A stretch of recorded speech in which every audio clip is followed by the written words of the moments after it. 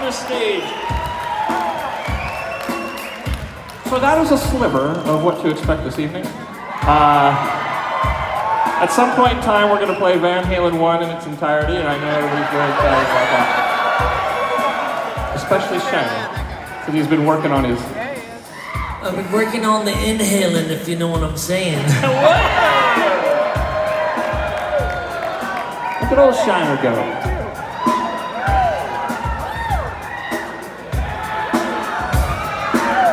Colonel. I like the way you move, boy. It's party time.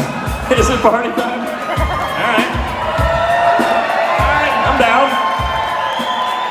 I got the green on. Y'all got the green on? Who's got the green on? You wearing red. What the hell? You're at the wrong show, brother. Uh, it's the summer of green. And there's Waffle Boy down there. There he is. So I don't know if you people know this, but um, we do a little thing before the show, and it, it's it's it's thousands of dollars. You pay thousands of dollars to sit in a room with me and talk about me, which is fucking kind of awesome for me.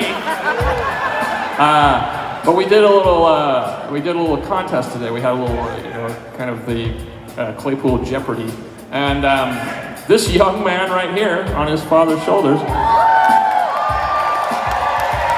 He won. He won the fabulous. He won a uh, an autographed uh, waffle maker, autographed by myself.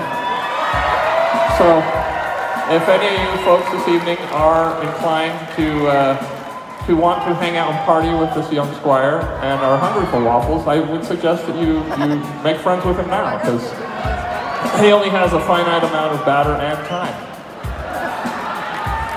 Batter up. Batter up. All right, well, that's the comedy portion of the show. Get back to waggling our fingers.